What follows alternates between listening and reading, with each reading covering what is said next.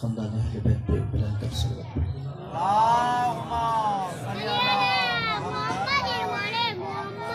حسبنا الله ونعم الوكيل نعم المولى ونعم النصير لا حول ولا قوة إلا بالله العلي العظيم أعوذ بالله السميع العليم من الشيطان اللعين الرجيم بسم الله الرحمن. الرحيم الحمد لله الذي هدانا لهذا وما كنا لنهتدي لولا أن هدانا الله لقد جاءت رسول ربنا بالحق الصلاة والسلام على نبيه وصفيه وحبيبه وأمينه وحجته النبي الأمي المكي المدني القرشي الهاشمي الأبطحي سيد الثقلين نبي الحرمين إمام القبلتين وسيلتنا في الدارين جد الحسن والحسين أبي القاسم محمد.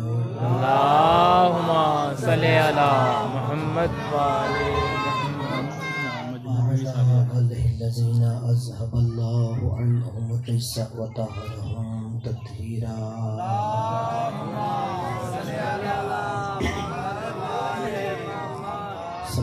الله على محبيهم ولعنة الله على مبغزيهم أما بعد، فقد قال الهدى في كتابه العلى بسم الله الرحمن الرحيم.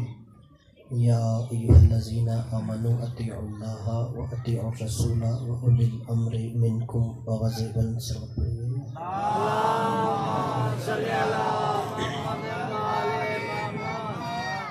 نعرہ تکبیر. مل کے پنجتن کے خالق کا نام بہت بلند ہے بلند آواز سے نعرہ تکبیر اللہ اکبر۔ نعرہ رسالت یا رسول اللہ۔ نعرہ حیدری یا علی۔ حسینیت زندہ باد یزیدیت مرد آباد خاندان تطہیر پہ بلند تر صلوات پڑھیے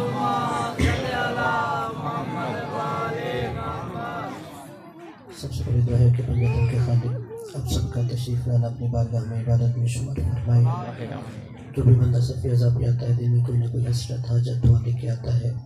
پنجتن کے خالق اس ذکر کے صدقے میں آپ جو دعائیں لے کے آئے، اپنی بارگاہ میں مستجاب فرمائے۔ بانیان کے مرحومین کے درجات بلند فرمائے۔ سوائے غم اہل بیت کی کوئی غم نصیب نہ فرمائے۔ اس پر راشق زمانے میں ہر مسلمان کی عزت نام اس کی حفاظت فرمائے۔ حجت دورہ بقیت اللہ امام زمانہ کے زبان میں تاجر فرمائے۔ ہمیں ان کے عوان و انصار میں محشر فرمائے۔ ان کے قدموں میں شہادت نصیب فرمائے اپنے اپنے نوکے کو بریت کے لیے بلند کر سلام پڑھیے۔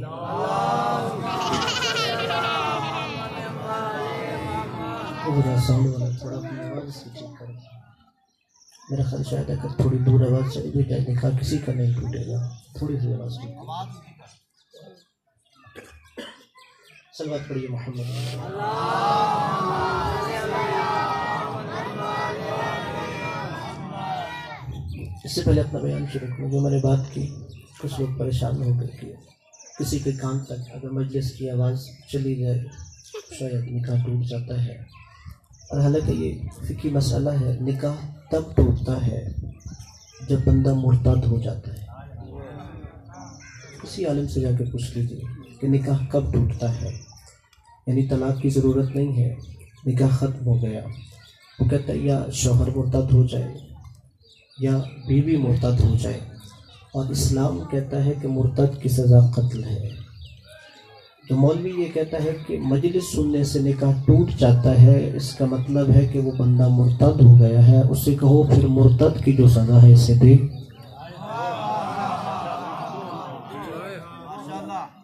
بلکہ یہ ذکر جو ہے، انسان کی روح کی غذا ہوتی ہے۔ اور جو میں نے آپ کی سماعتوں کی نظر آیت مجیدہ پڑھی ہے، وہ سورہ نساء کی آیت نمبر انسٹھ ہے۔ اللہ نے فرمایا، یا ایوہ الذین آمنو اے صاحبان ایمان اطیع اللہ، اطاعت کرو اللہ کی واطع الرسول اور رسول کی وَأُولِي الْأَمْرِ مِنْكُمْ اور جو تم میں سے صاحبان امر ہیں۔ آپ آیت میں غور کیجیے، اللہ نے ڈائریکٹ خطاب کیا ہے صاحبان ایمان سے۔ اللہ نے یہ نہیں کہا، قل میرے حبیب، تو ان صاحبان ایمان سے کہہ دے۔ اگر آپ قرآن میں مزاج رحمان دیکھیے، اللہ اپنے منکر سے ڈائریکٹ بات نہیں کرتا۔ توجہ ہے؟ اللہ اپنے منکر سے ڈائریکٹ بات نہیں کرتا۔ اور قرآن پڑھیے، اللہ رسول کے منکر سے بھی ڈائریکٹ بات نہیں کرتا۔ بلکہ پہلے قل کہتا ہے۔ جہاں مشرق اللہ کے منکر کی بات آئی اللہ نے کہا، قل ہو اللہ احد۔ میرے حبیب، تو انہیں کہے، اللہ ایک ہے۔ یعنی اللہ نے ڈائریکٹ نہیں کہا، یا ایوہ الذین مشرکو، کہ اے مشرکو، سنو، اللہ ایک ہے۔ اللہ نے کہا، قل ہو اللہ احد۔ میرے حبیب، تو میرے منکروں سے کہہ دے وہ احد ہے۔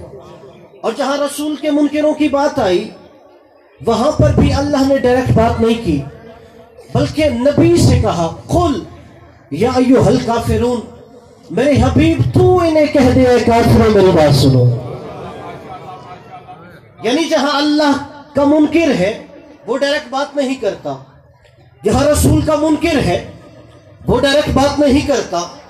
اور جو آیت میں نے آپ کی سماعتوں کی نظر کی، اللہ نے نبی کو نہیں کہا، خود کہہ رہے ہیں، صاحبان ایمان، میری بات سنو۔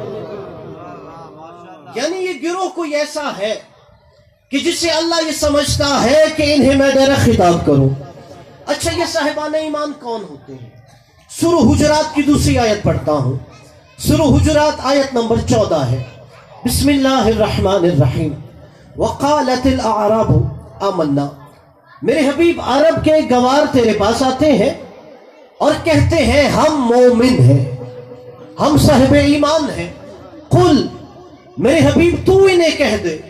لم تومنو تم مومن نہیں ہو۔ جسے جملہ سمجھ آئی ہے اردو سمجھ آتی ہے وہ ساتھ بولتا رہے۔ یعنی وہ کہہ رہے ہیں، ہم مومن ہیں۔ اور اللہ کہہ رہا ہے، انہیں کہہ دے، یہ مومن نہیں ہے۔ قبلہ مجھے نہیں پتا آپ کتنے صاحبان ایمان ہیں۔ اور آپ کو نہیں پتا میں کتنے صاحبان ایمان ہوں۔ لیکن اللہ کے بعد بندہ خود جانتا ہے میرے اندر کتنا ایمان ہے۔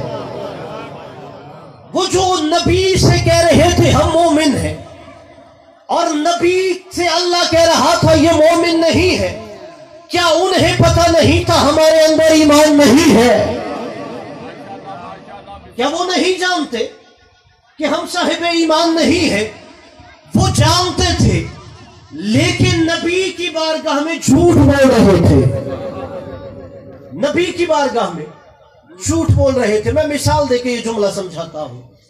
اگر آج چودہ سو سال نبی کے جانے کے بعد ویروں کو بازار میں کوئی جیب تراش پکڑا جائے، آپ اس سے پوچھو جیب کاٹی ہے؟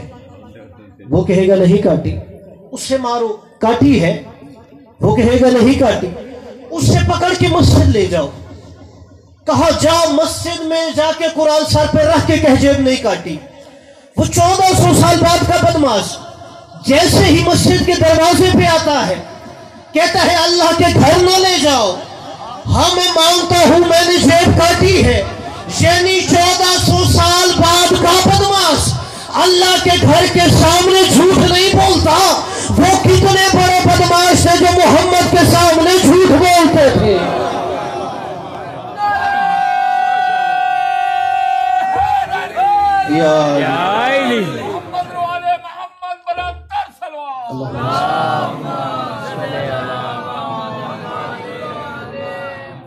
یعنی چودہ سو سال بعد کا مسلمان مسجد کے سامنے جھوٹ نہیں بولتا۔ وہ کیسے لوگ تھے جو نبی کے سامنے جھوٹ بول رہے تھے؟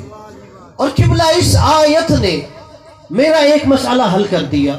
میں سوچا کرتا تھا لوگوں نے نبی کی بیٹی کے سامنے جھوٹ کیوں بولا تھا؟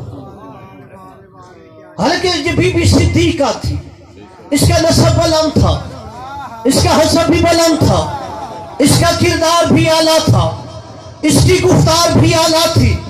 پھر بنت پیمبر کے سامنے جھوٹ کیوں بولا؟ لیکن یہ آیت پڑھی تو میرا مسئلہ حل ہو گیا کہ نبی نے کہا، فاطمہ تو بذات منی۔ فاطمہ میرا جز ہے۔ یعنی محمد کل ہے، فاطمہ جز ہے۔ جنہیں کل کی شرم نہیں تھی، وہ جز کا حیا کیسے کرتے؟ جنہیں کل کی شرم نہیں تھی، وہ جز کا حیا کیسے کرتے؟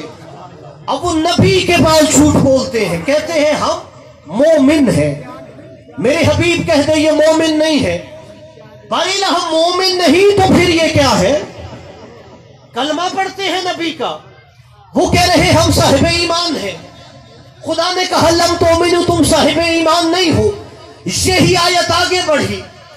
لم تو انہیں کہہ دو مومن نہیں ہے۔ باریلا پھر کیا ہے؟ ولیکن قولو اسلمنا۔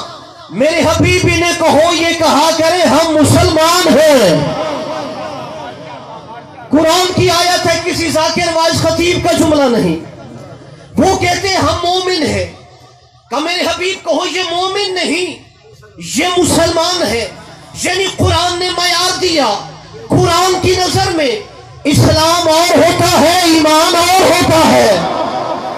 اب ذہن بیدار کیجیے قرآن کی نظر میں۔ اسلام اور ہے، ایمان اور ہے۔ قرآن کی نظر میں مسلمان اور ہے، مومن اور ہے۔ علی کے شیعوں سر اٹھا کے جیا کرو۔ لوگ ہمیں مذاق میں بھی مومن کہتے ہیں۔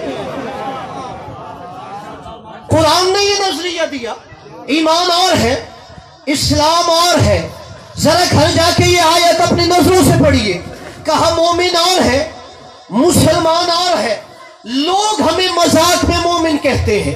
جس محلے میں مومنوں کو کتنے گھر ہیں، اس گاؤں میں کتنا مومن رہتے ہیں اس دفتر میں کون کون مومن ہے؟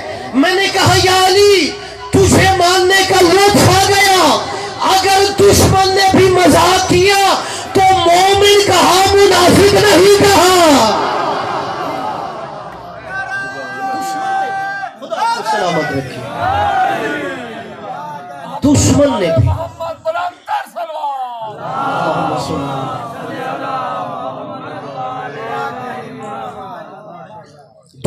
نے بھی مذاق کیا تو آپ کو مومن کہا ہے؟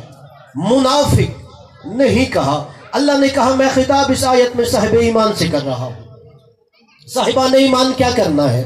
اتی اللہ اطاعت اللہ کی کرنی ہے۔ وہ اتی اور رسول اور رسول کی کرنی ہے۔ وَأُولِ الْأَمْرِ مِنْكُمْ اور جو تم میں صاحب امر ہے، اس کی اطاعت کرنی ہے۔ میرے جتنے یہاں پہ شیعہ سنی بھائی میرے سامنے ہیں جائے گھر جا کے اس آیت کی تفسیر پڑھے۔ اللہ نے کہا، میری اطاعت ہے، پھر رسول کی ہے، پھر انہیں الامر کی ہے۔ اللہ کا تو سمجھ آ گیا کس کی کرنی ہے۔ رسول کا بھی پتا ہے وہ کون ہے۔ جائیے گھر جا کے تلاش کرو، رسول کے بعد انہیں الامر کون ہے۔ گھر جا کے آپ نے قرآن کھول کے سورہ نساء کی آیت نمبر انسٹھ کی ذیل میں تلاش کرنا ہے۔ میرے زمانے کا انہیں الامر کون ہے؟ نبی کے بعد انہیں الامر کون تھا؟ اس لیے کہ دین رسول پہ نہیں رکتا انہیں الامر پہ رکتا ہے۔ قرآن نے کہا الامر کو تلاش کرو۔ چلیے، میں جملہ آسان کر دیتا ہوں۔ ہم نے رسول کے بعد جسے انہیں الامر مانا ہے، کلمے میں اس کا نام لیتے ہیں۔ آپ نے جسے مانا ہے، شاید جو چپ ہے وہ نہیں لینے والے ہو۔ ہم نے جسے مانا ہے، کلمے میں اس کا نام لیتے ہیں۔ دنیا جسے رسول کے بعد اولی الامر مانتی ہے، کلمے میں اس کا نام لے۔ خدا آپ کو سلامت رکھے، پھر جملہ کہہ رہا ہوں۔ ہم نے جسے نبی کے بعد اولی الامر مانا، کلمے میں اس کا نام لیا ہے۔ کہ علی جو ولی اللہ، وسیع رسول اللہ، و خلیفہ بلا فصل ہم نے بتایا رسول کے بعد انہیں الامر یہ ہے، دنیا جسے رسول کے بعد انہیں الامر مانتی ہے، کلمے میں اس کا نام لے، ہمارا نام لینا اور دنیا کا نام نہ لینا، اس بات کی دلیل ہے کہ وہ بھی مانتے ہیں۔ ہم نے رسول کے بعد اس گنہگار کو مانا ہے جس کا نام کلمے میں نہیں آ سکتا۔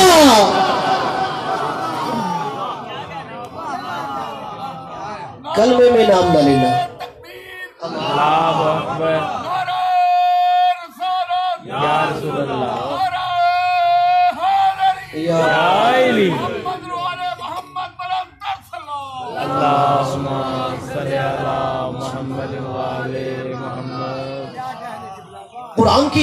رسول پہ کام رکھے گا نہیں اول العمر تک آئے گا۔ کہ تم نے رسول کے بعد اول العمر کی اطاعت کرنی ہے۔ حوالہ بے شک لوہے دل پہ نقش کیجیے۔ برادران اہل سنت کی سب سے بڑی تفسیر قرآن، تفسیر مفاتیح الغیب ہے۔ اس کو تفسیر کبیر بھی کہتے ہیں۔ علامہ فخر الدین غازی نے لکھی۔ وہ اس آیت کے ذیل میں لکھتے ہیں کہ جب اللہ نے کہا، میری اطاعت کرو، کوئی شرط نہیں لگائی۔ کب کرنی ہے؟ کب نہیں کرنی۔ ہے جب رسول کی اطاعت ہے، شرط نہیں ہے، کب کرنی ہے، کب نہیں کرنی۔ جب اولی الامر کی اطاعت ہے، یہ شرط نہیں لگائی۔ کب کرنی ہے، کب نہیں کرنی۔ اہل سنت مفسر لکھتا ہے کہ آیت کا انداز بتاتا ہے اولی الامر بھی کی رسول جیسا معصوم ہوتا ہے۔ آیت کا انداز بتاتا ہے۔ اولی الامر بھی کوئی رسول جیسا گناہوں سے پاک ہے۔ اس لیے کہ ہر وقت اس کی اطاعت کرنی ہے۔ اور پھر جب یہ آیت نازل ہوئی، صحابی رسول جابر بن عبداللہ انصاری کہتے ہیں، اسی کے دسیوں کتابوں میں ہے، اہل سنت عالم سلیمان کندوزی حلفی اپنی کتاب جنابی المودت میں یہ روایت لکھتے ہیں کہ یہ آیت نازل ہوئی، جناب جابر رسول کی خدمت میں گئے۔ یا رسول اللہ، ہمیں پتہ ہے اللہ کون ہے، اطاعت کر لیں گے۔ ہمیں پتہ ہے رسول کون ہے۔ اطاعت کر لیں گے۔ یا رسول اللہ، یہ بتائیں من ہن الامر اس آیت میں ان کون ہے؟ اس لیے کہ ان العمر کو تلاش کرنا ہے۔ حوالہ غلط ہو تو میں مجرم اگر حوالہ ہو، نبی نے فرمایا ہو تو پھر دنیا مجرم کہ جب رسول نے ان العمر کا تعارف کروایا ہے تو پھر مانتے کیوں نہیں؟ صحابی نے سوال کیا۔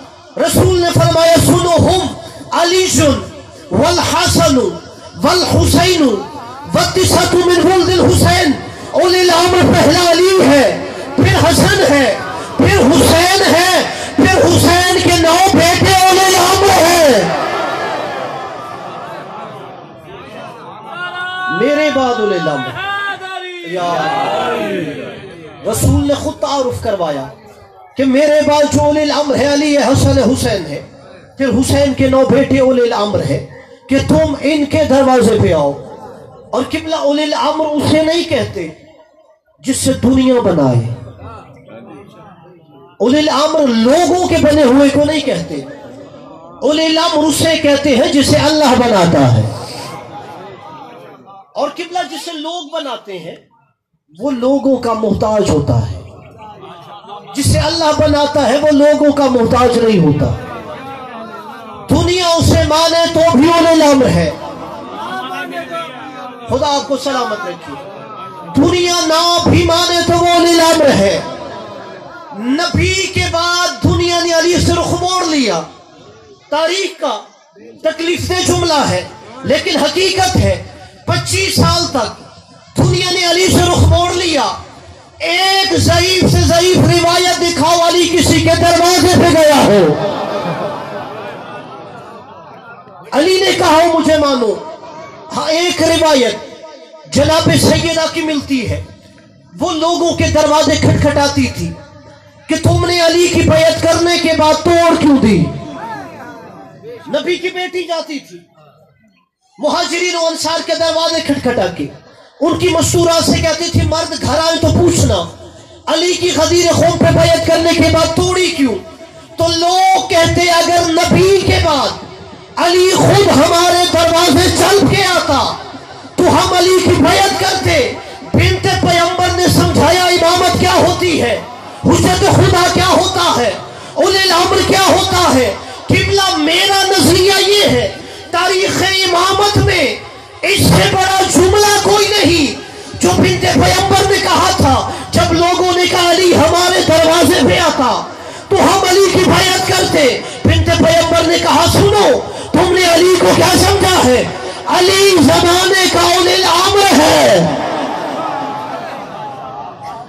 علی تم جیسا نہیں، وہ زمانے کا الامر ہے، وہ امام ہے۔ مسال الامام ہی فی الامتی کما سلیل کعبہ، الناس یحجون الیہا والکعبہ لا تحجو الناس۔ سنو علی زمانے کا امام ہے، امام کی مثال کعبے جیسی ہوتی ہے۔ لوگ حج کرنے کعبہ کے پاس جاتے ہیں، کعبہ لوگوں کے پاس نہیں آتا۔ مولا آپ کو سلامت رکھے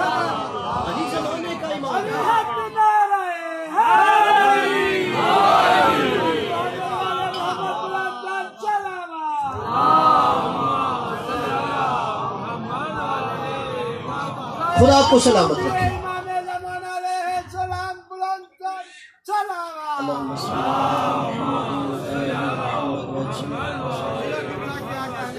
بنت پیمبر بتا رہی تھی مقام حجت خدا کیا ہے، امام کیا ہے ولی الامر کیا ہے۔ کہ تم نے علی کو اپنے جیسا سمجھا؟ امام کی مثال کعبہ جیسی ہوتی ہے۔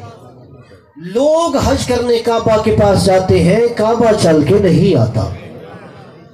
اور پھر دیکھیے دنیا علی کے دروازے پہ آئی۔ کہیں گے پھر علی نے حکومت کیوں قبول کر لی؟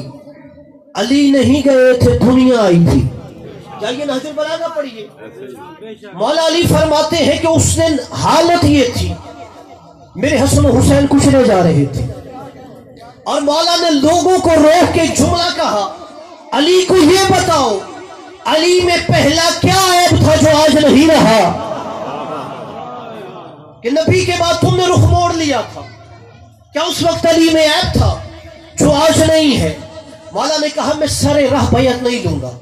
اگر علی کی بیعت کرنی ہے، کل صبح مسجد نبوی میں آنا۔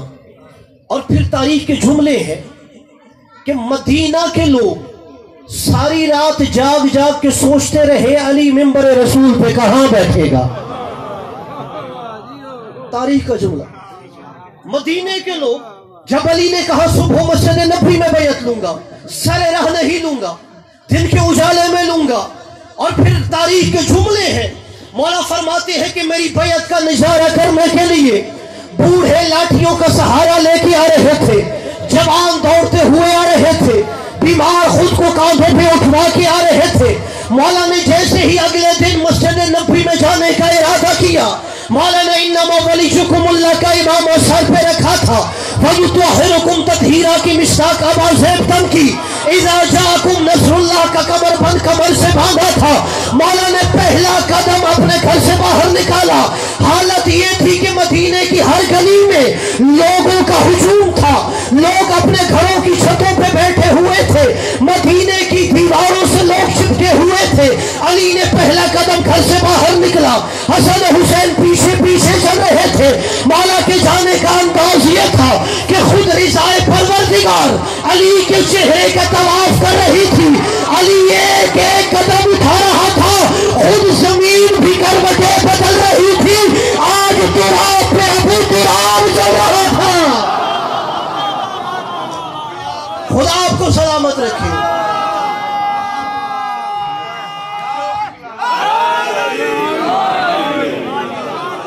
آج علی ممبر رسول پہ جا رہا تھا مولا نے کہا آؤ دیکھو علی کی بیعت کا نظارہ جیسے ہی علی نے یہ جملہ کہا تو جو گھر میں بیمار تھے، انہوں نے کہا، ہمیں شاموں پہ اٹھا کے لے جاؤ۔ جو بوڑھے تھے، گھر سے نہیں چل سکتے، لاٹھیوں کا سہارا لے کے آ رہے تھے۔ جوانوں نے سنا، دوڑتے ہوئے جا رہے تھے۔ جیسے ہی علی نے پہلا قدم مسجد نبی میں رکھا، لوگوں نے پریشان حال سے علی کو دیکھا۔ کالی نے جیسے ہی قدم رکھا تحت سرا سے، عرش اولا تک، ہر زی نفس نے اپنا نفس روک لیا۔ مسجد میں بیٹھے ہوئے نے اپنی سانسوں کو روک لی۔ پھر جملہ کہنے دیجیے علی شو ممبر کی جانب جا رہا تھا کہ خود موت بھی ملک الموت کے پروں میں پناہ لے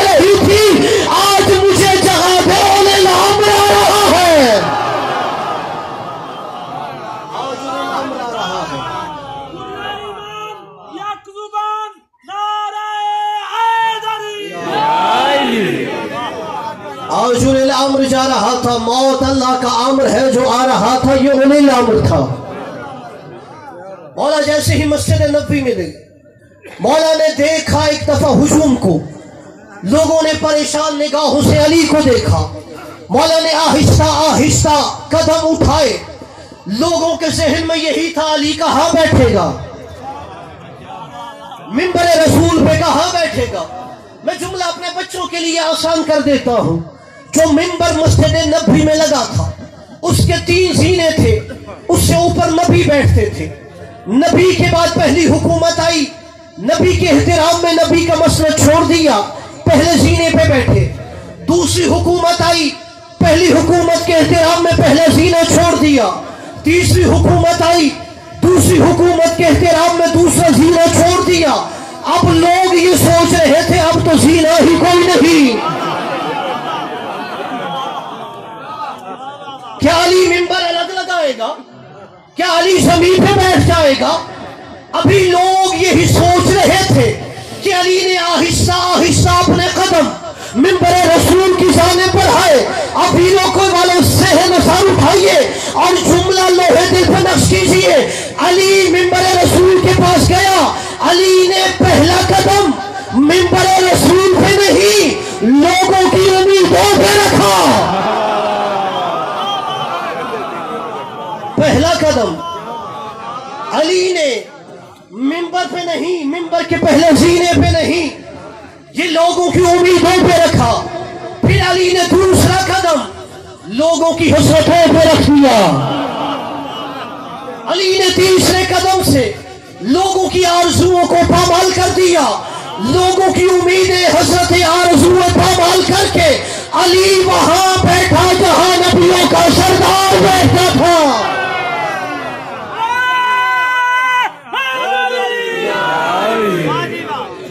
نبی کے بعد آج پہلی دفعہ ممبر رسول پہ آیا۔ مولا علی وہاں آئے جہاں سید الانبیاء بیٹھتے تھے۔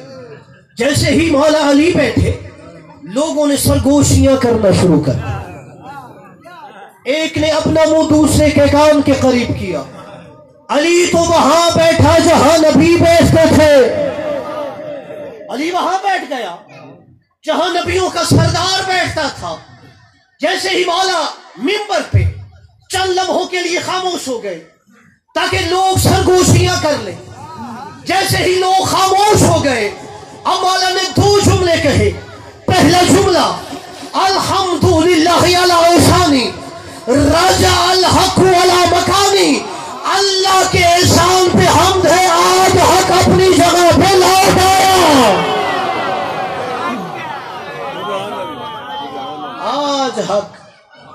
اپنی جگہ پر لوٹ آیا دوسرا جملہ مولا نے کہا، لوگوں پریشان ہو گئے۔ علی وہاں بیٹھ گیا۔ جہاں نبیوں کا سردار بیٹھتا تھا، تم یہی سوچ رہے ہو۔ علی وہاں بیٹھا۔ جہاں سید المرسلین بیٹھتے تھے کہ لوگوں، یہ تو لکڑیوں کا ممبر ہے۔ جسے تاریخ کا پتا ہے۔ مولا آپ کو سلامت رکھے۔ لوگوں، یہ تو لکڑیوں کا ممبر ہے۔ علی وہاں بیٹھا تو پریشان ہو گئے۔ علی کو پہچانو۔ علی کے قدم تو مہر نبوت کے سوار ہے۔ تم اس میں پریشان ہو گئے۔ یہ تو لکڑیوں کا ممبر ہے۔ علی کے قدم مہر نبوت پہ آئے ہیں۔ تو علی نے بتایا کہ اولی الامر وہی ہوتا ہے جو محمد جیسا ہوتا ہے۔ اور قبلہ اولی الامر لوگوں کے دروازوں پہ نہیں جاتا۔ لوگ اولی الامر کے دروازے پہ آتے ہیں۔ اور یہی تو وجہ ہے اولی الامر کا مقام بتانے کے لیے۔ نبی نے بتایا، اگر تمہیں جنت چاہیے تو اولی الامر کے دروازے پہ آؤ۔ تمہیں دین چاہیے تو اولی الامر کے دروازے پہ آؤ۔ اگر تمہیں قبر میں آسانی چاہیے تو اولی الامر کے دروازے پہ آؤ۔ اگر تم محشر کے میدان میں حوض کوثر چاہتے ہو تو اولی الامر کے دروازے پہ آؤ۔ اگر تم محشر کے میدان میں سورج کی گرمی سے پہنچنا چاہتے ہو تو اولی الامر کے دروازے پہ آؤ۔ شاید میرا کوئی مسلمان بھائی کہے کیسے ان ساری مصیبتوں سے اولی الامر بچاتا ہے۔ اس لیے کہ اگر تم جنت میں جانا چاہتے ہو تو نبی نے کہا، علی قسم النار والجنہ ہے۔ کہ اگر جنت میں جانا چاہتے ہو تو علی قسم النار والجنہ ہے۔ اگر تم قبر میں منزلیں آسان کرنا چاہتے ہو تو علی تمہاری قبر میں آئے گا۔ اگر تم محشر کی گرمی سے بچنا چاہتے ہو کہ جب ہر بندہ پیاس سے بل پلا رہا ہوگا تو محشر کے میدان میں حوض کوثر کو پلانے والا علی ولان ہے۔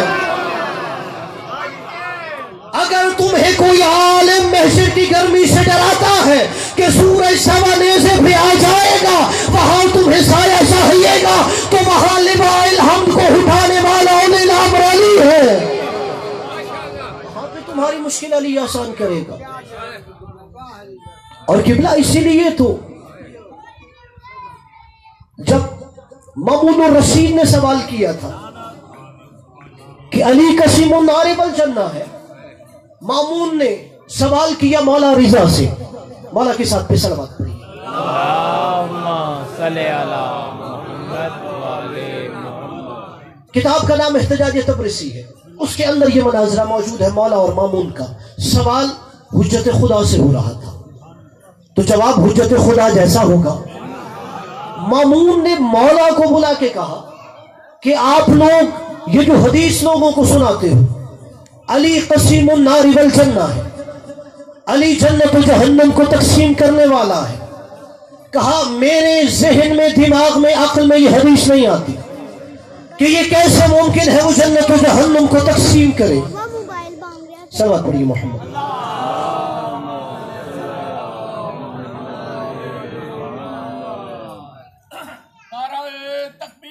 اللہ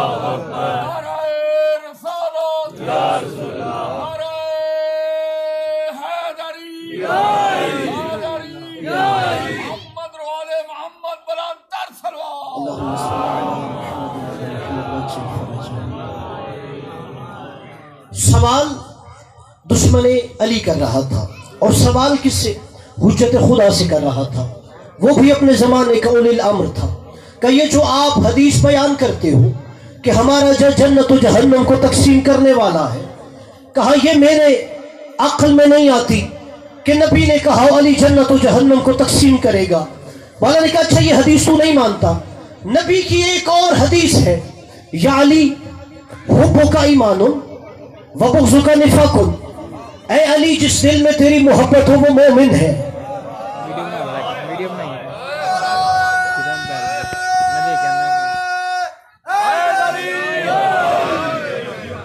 اس کا بھی حوالہ دیتا ہوں برادران اہل سنت کی سیاستہ کی کتابوں میں سے دوسری کتاب صحیح مسلم ہے۔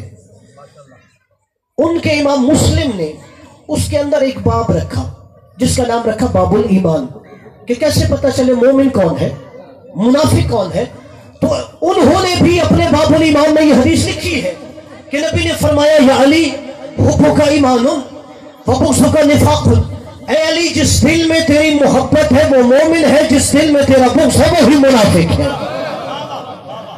مولا نے کہا مامون سے تو یہ مانگتا ہے کہ میرے جد نے یہ حدیث فرمائی تھی کہ جس دل میں علی کی محبت ہے، وہ مومن ہے۔ کہا، یہ حدیث ہے۔ اور میرے جد نے فرمایا، جس دل میں علی کا بغض ہے، وہ منافق ہے۔ کہا یہ حدیث ہے؟ مولا نے کہا اچھا مجھے یہ بتا، مومن کہاں جائے گا؟ جس سے جملہ سمجھ آیا یعنی یہ نبی نے فرمایا، جس دل میں علی کی محبت ہے، وہ مومن ہے۔ جس دل میں علی کا بغض ہے، وہ منافق ہے۔ کہ یہ بتا، مومن کہاں جائے گا؟ کہا جنت میں۔ کہا بتا، منافق کہاں جائے گا؟ کہ جہنم میں۔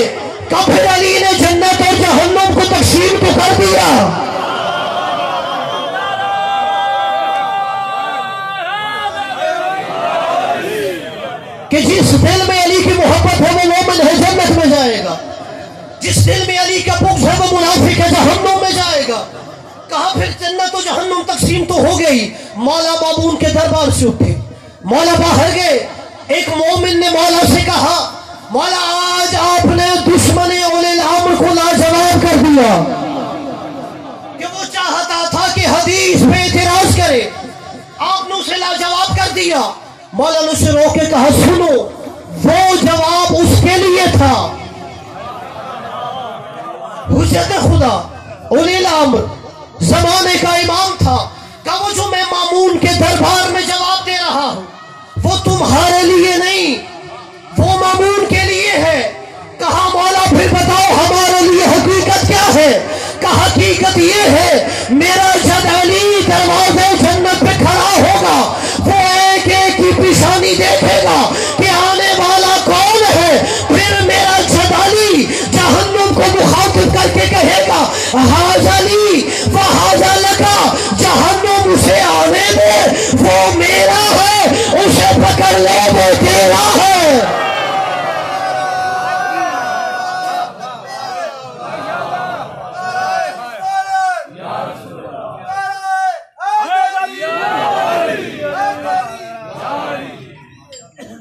کہ جسے علی اپنا کہہ دے گا، وہ جنتی ہوگا۔ جسے علی خود سے جدا کر دے گا، وہی جہنمی ہوگا۔ اور میں کہوں گا علی کہ شیو سر اٹھا کے جیا کرو۔ اپنی شناخت نہ چھپایا کرو۔ آپ جس سکول، دفتر، جہاں پر بھی جاتے ہیں، اگر کوئی پوچھے کون ہو تو بتاؤ میں علی کا شیعہ ہوں۔ قبلہ شناخت وہ چھپاتا ہے جس کی نسبت کسی پست کے ساتھ ہو۔ نوجوانوں کو خاص طور پہ پیغام دے رہا ہوں کہ مت چھپاؤ کہ میں علی کا شیعہ ہوں۔ اگر کوئی کہے کہ علی کا شیعہ کیوں ہے، کسی اور کے دروازے پہ چلا جا، اسے کہو، تو خود امامت کی شرائط معین کر کہ امام کے لیے کون سی شرائط ہونی چاہیے۔ علم ہونا چاہیے، نصب بلند ہونا چاہیے، تقوی ہونا چاہیے، حسب بلند ہونا چاہیے۔ کہا، شرائط تو معین کر، تو اپنا امام لا، میں اپنا امام لیتا ہوں۔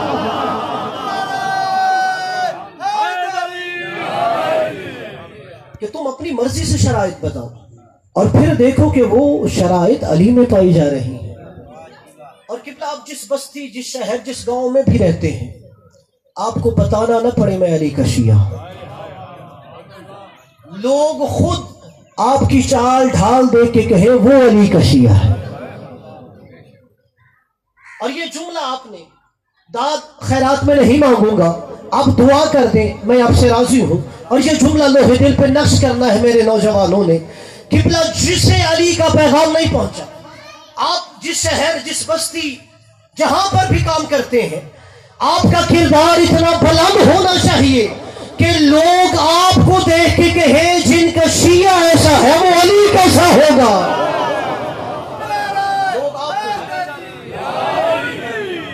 لوگ آپ کو- لوگ آپ کو دیکھ کے کہیں، جس کا شیعہ ایسا ہے، وہ علی کیسا ہوگا؟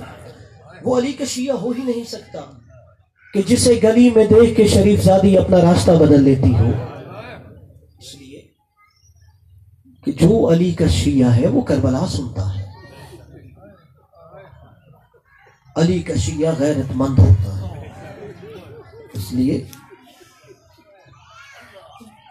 اس نے خود کو علی کے قدموں میں گرایا۔ ہوا اور قبلہ دو جملے بس مسائل کے، تفصیلی مسائل پھر بعد شاہ سے پڑھیں گے۔ قبلہ دین کے قدر اسے ہوتی ہے، جس کا دین پہ کچھ لگا ہو۔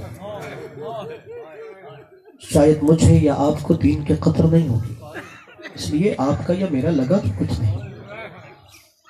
دین کی قدر اسے ہے جس نے دین کی راہ میں کچھ قربان کیا۔ اور حسین سے پوچھو دین کتنا قیمتی ہے۔ حسین نے کہا، دین اتنا قیمتی ہے کہ علی اکبر جیسا بیٹا قربان ہو سکتا ہے. اجرکم علی الزرع ازدر و شرما کے نہ روئیے گا۔ اس لیے غریبوں کا ذکر ہے، آپ نے آج پرسہ دینا ہے مولا حسین۔ ازدارو مولا حسین نے بتایا، دین اتنا قیمتی ہے جس پہ زینب کی ردا بھی قربان ہو سکتی ہے۔ اور ازدارو ایک جملہ سن لیجیے، باپ اور بیٹی کی محبت کا۔ قبلہ دعا مانگا کرو، کبھی کسی بیٹی کے سامنے اس کا باپ قتل نہ ہو۔ اللہ جانے کون جملہ سمجھا ہے۔ بیٹی امیر کی ہو یا غریب کی ہو؟ بیٹی شہر میں رہتی ہو یا دیہات میں رہتی ہو؟ اگر اس کے سامنے باپ قتل ہو تو جاتی ہے، خود باپ کو چھڑاتی ہے۔ اگر باپ کو خود نہ چھڑا سکے، لوگوں کے دروازے کھٹکھٹاتی ہے۔ لوگوں، دیکھو، میرا بابا مارا جا رہا ہے۔ ازادارو جب سکینہ سلام اللہ علیہ کی آخری ڈھارس میدان کربلا میں جا رہے تھے مولا نے جیسے ہی زلجانہ کو چلنے کا حکم دیا، رہوار آگے نہیں بڑھا۔ دیکھا کہ چار سال کی بچی سنوں سے لپٹی ہوئی کہہ رہی تھی، میرے بابا کے رہوار بابا کو نہ لے جا۔ مولا حسین نیچے اترے۔ بیٹی کو سینے سے لگایا۔ کہا، سکینہ، اب جاؤ اپنی اماں کے پاس۔ کہا، بابا، میں تیرے سینے پہ سونے کی عادی ہوں، جن کی چھوٹی چھوٹی اولادیں ہیں۔ بابا، یہ بتا، جب تیرا سینہ نہیں ملے گا، سکینہ سوئے گی کہاں؟ کہا، بیٹا، آج کے بعد ماں کے پاس چلی جانا۔ ازارو میر انیس نے یہ ہمر سیاہ لکھا ہے۔ میر انیس کہتا ہے کہ بچی خود باپ سے کہتی ہے، فرمایا، نیند آئے گی۔ جب آپ کی بو پاؤں گی، بابا، میں رات کو مقتل میں چلی آؤں گی، بابا۔ فرمایا، نیند آئے گی جب آپ کی بھی پاؤ گی بابا، میں رات کو مقتل میں چلی آؤ گی بابا سدا سے معافی مانگ کے جملہ کہنے لگا ہوں. فرمایا، نکلتی نہیں سیدانیاں باہر. فرمایا، نکلتی نہیں سیدانیاں باہر. فرمایا، نکلتی نہیں سیدانیاں باہر. سینے پہ سنائے گی، تمہیں رات میں مادر. اس نے کہا، سوئیں گے کہاں پھر؟ علی اصغر کہا رات آئے گی اور دشت میں ہم ہوئیں گے بی بی اصغر میرے ساتھ وہی سوئے گا بی بی اگر آؤ چار سال کی بچی، گھبرا گئی، یہ بابا کیسی باتیں کر رہی ہے؟ فرمایا، کیسی ہے یہ باتیں؟ میرا دل روتا ہے بابا۔ گھر چھوڑ کے جنگل میں کوئی سوتا ہے بابا۔ گھر چھوڑ کے جنگل میں کوئی سوتا ہے بابا؟ آزادار حسین نے جب سر سجدے میں رکھا آزادار زینب سلام اللہ علیہ خیام میں تھی۔ جناب زینب سلام اللہ علیہ نے دیکھا، سکینہ سلام اللہ علیہ نے سر پہ ردا رکھی اور خیمے سے نکلنے کا ارادہ کیا۔ جناب فضا نے روکا سکینہ کہا جا رہی ہو؟ کہ پھپی اما دیکھو، میرا بابا مارا جا رہا ہے۔ آزادار جناب زینب نے روکا سکینہ کہا جاتی ہو؟ دیکھو میرا بابا مارا جا رہا ہے۔ کہا جناب سینب سلام اللہ علیہ نے سکینہ تیر پہ تیر آتا ہے، نیزے پہ نیزہ ٹکراتا ہے، تلوار سے تلوار ٹکراتی ہے۔ کبھی بھی اما لیکن بابا تنہا مارا جا رہا ہے۔ تو اچھا سکینہ بتاؤ؟ تم میدان میں جا کے کیا کرو گی؟ کبھی بھی اما آپ نے ہی مجھے یہ فرمایا تھا کہ مکہ شہر تھا۔ نانا محمد مصطفیٰ پہ مکہ کے کافر ظلم کر رہے تھے۔ چار سال کی دادی زہرا تھی۔ دادی زہرا اپنے گھر میں تھی۔ جیسے ہی دادی زہرا کو پتا چلا مکہ کی گلیوں میں میرے بابا محمد پہ کافر ظلم کر رہے ہیں۔ چار سال کی دادی زہرا نے سر پہ چادر کی اور مکہ کی گلیوں میں آ گئی۔ جب کافروں نے دیکھا، محمد کی بیٹی آ رہی ہے۔ کافروں نے کہا، محمد کو چھوڑ دو۔ محمد کی بیٹی آ گئی۔ کاما زینب میں بھی میدان جائے گی مسلمان دیکھیں گے حسین کی بیٹی آ گئی تو سکینہ وہ کافر تھے، یہ مسلمان۔